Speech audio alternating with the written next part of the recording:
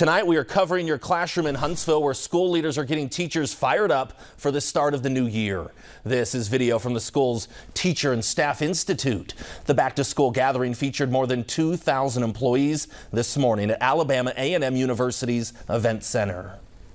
It's a big back to school pep rally for teachers. It's always how we like to start the new school year, getting teachers excited about the new school year. So ultimately, they'll be excited when they see students this Thursday. Teachers' first official day back was last Thursday. Students will return to the classroom this Thursday. Athens